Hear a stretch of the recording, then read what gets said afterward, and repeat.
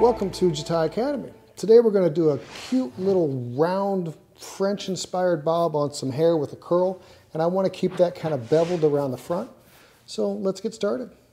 All right, so we're going to get started here in the back.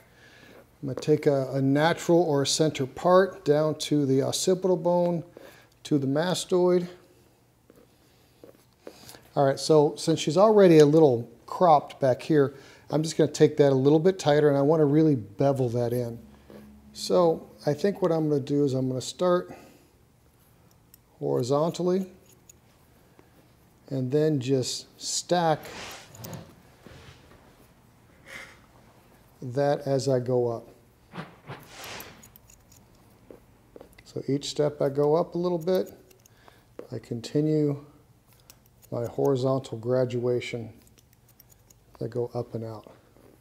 Now I'm not worried about it being too perfect right now. I just want to get the general shape of this end.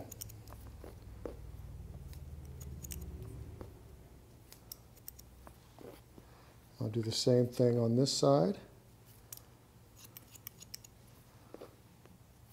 Follow the center length that I had as I start to horizontally graduate this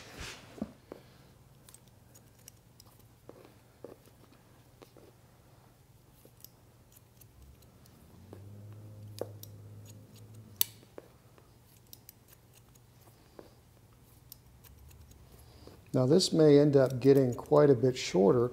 That's why I'm not worried about everything being absolutely perfect. I just want the basic rough shape in so then I can fine tune it later.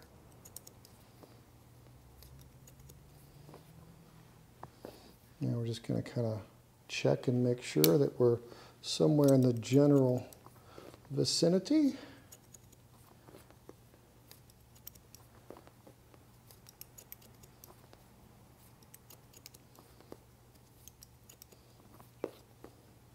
This is kind of like cross-cutting. If I was to go through normally, I would take a vertical section and hold out and graduate, and then walk that over and walk that back to the left. And then I would go through and cross-check it. So I'm basically cross-checking it and just guessing at what my graduated shape is going to be.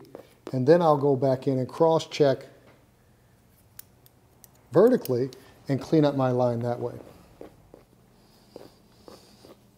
Okay, once we got that kind of fitting in like I want, then I'm going to continue up and start to build my bob shape.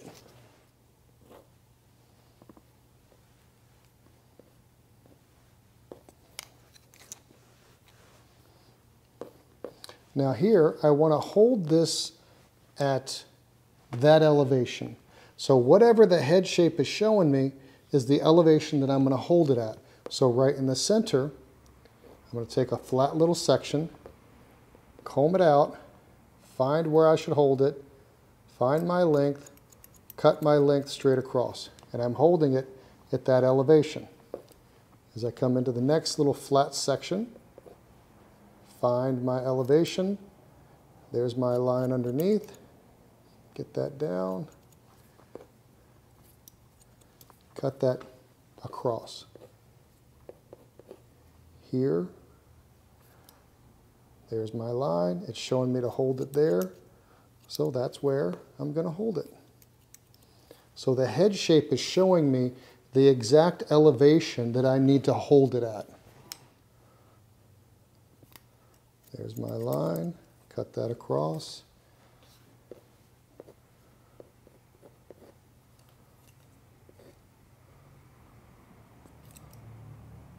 There's my line underneath, cut that across. Make sure my elevation is proper.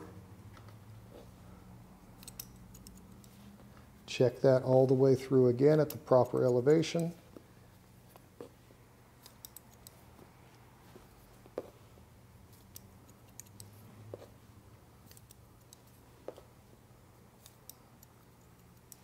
Looking pretty good.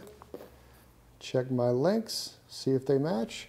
And they do, so let's move on to the next piece. So now we're going to start in the center again. And I'm going to go off of the head shape to determine what the elevation is going to be. So my elevation is going to be like that. And I'm just going to keep elevating at whatever the head shape is showing me as I go up the head. My next piece, there's the proper elevation. Now an easy way to find it, if I don't want to hold my comb there every time, is when I comb the section at where I think it should be, I think it should be there. If I look here at the root, if I hold it too high, you can see how the roots start to get really soft. If I hold it really low, you start to see the, the hair curve across the head and it starts to reflect and get real shiny. So I want to rock right between the two. That's the elevation right there. There's my line I'm going to cut. Come on, straight across.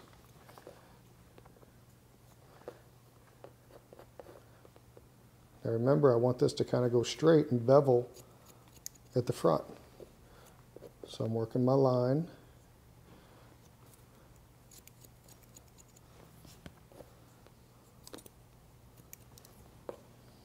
Now this is just going to take a little trial and error until I get everything just like I want. And I think a little bit more right there in the front. Now you see right here, it's showing me to hold it straight down. So I'm holding it straight down at zero elevation. And we'll take a look at that. See how that's looking. That's not looking bad. We'll have to clean our, our transition right here behind the ear up, but that's looking pretty good. So let's move on to the other side. Check that out. A little bit right there, a little bit there. Looking pretty good. Let's check our face out, and that's not looking too bad. I'm going to start in the middle and do exactly the same thing I was doing before, using the head shape to show me the elevation for my graduation. Comb out, smooth, there's my line. Cut that straight across. Next piece. There's my elevation.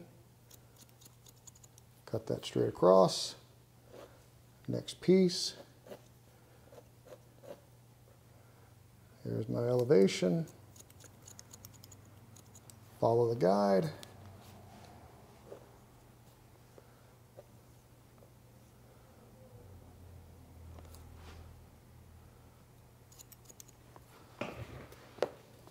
Continue until I run out of hair. Now as we, as we near the top, I have an off-center part. So what I want to do is I want to match that off-center part on the heavy side. And that's the highest that I'm going to elevate both of these sections on each side of the head so that the elevations match. I don't want to over elevate this higher because then I'm going to bevel this side more than I'll bevel the other side. Come on.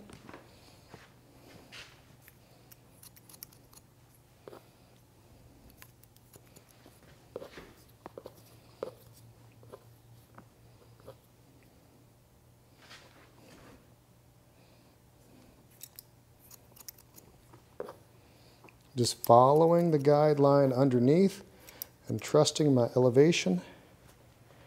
Getting that. And then this side here, I want to remember this section here so that I don't elevate it too high. I want to elevate it right where that last section was, which is going to be somewhere about right there.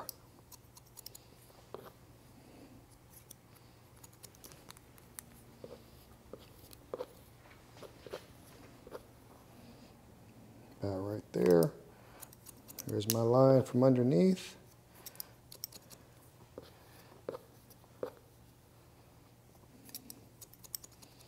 Get that. And then the last piece on this heavy side, same elevation that I did for the last two sections. If I feel that this builds up too much weight, I can always texturize that and thin that out a little bit, but I want the elevations to match as closely on each side as possible. I can change the weight distribution through other ways.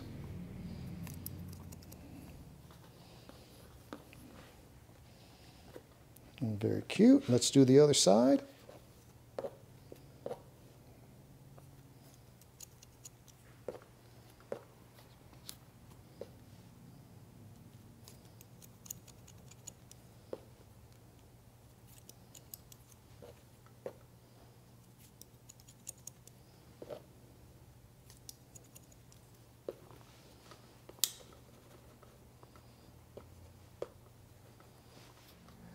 Now, since on the heavy side, I have a bigger parting right through here, I am going to go through and bevel this front a little bit more than I will the other side. It's still going to stay asymmetrical around the front, but I just want to round this shape out a little bit through here.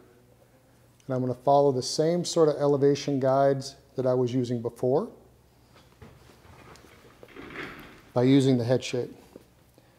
So here's my head shape. There's my elevation. I'm just going to visualize where this is falling and where I want this to kind of come from. So we're going to start about right there. Take that across. And then see how that's going to fall. And if I need to take more off or less. But I just want to pay attention to, I want to make sure that I'm beveling everything properly and keeping the shape round. I don't want to build any kind of corners into it.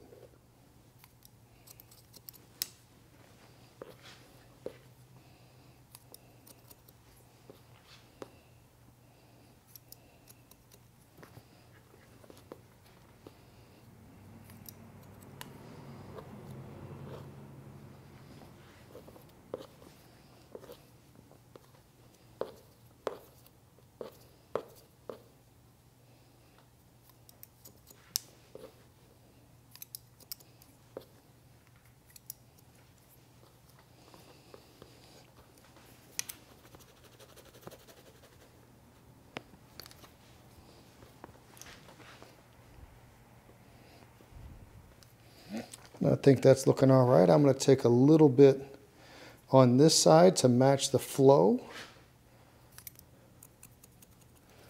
Just take a little of that and bevel that front corner.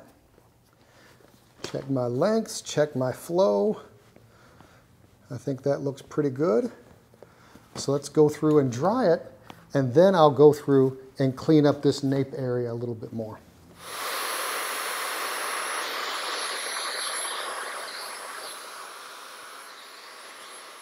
So I got everything dry, and I want to just go through and really fine tune this nape area where it goes from straight to curly and fit that in a little bit tighter.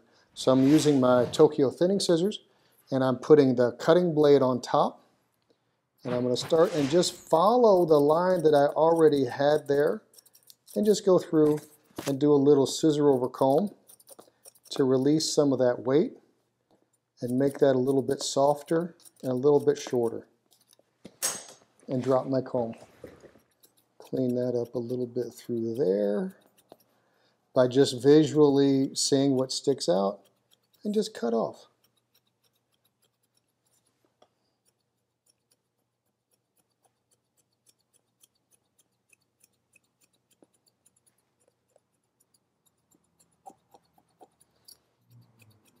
This is just purely visual seeing what sticks out, and then cutting it off and kind of whittling it down into shape. And once I feel like, you know, that is not bad, that's pretty good, I would charge for that. Okay, I think we're looking, I think we're looking pretty good. This is our end shape. We got a nice little beveled little bob, uh, nice fit in, clean in the nape, you know, a little even with a little bevel around the front, a little off center part. I think it looks pretty good. And the thing about horizontal graduation versus vertical graduation is vertical graduation tends to give you a much stronger corner than a horizontal graduation, which will automatically bevel your shape and cut a curved line into it if you're going off the head shape. So for something like this, where you want a little bit of bevel to keep it from getting that kind of like corner and bell shape to it, I think that this works really well. So thanks for checking it out. Please check out the Jatai Academy. There's all kinds of stuff on there that will make you a better hairdresser. And uh, we'll see you next time. Thank you.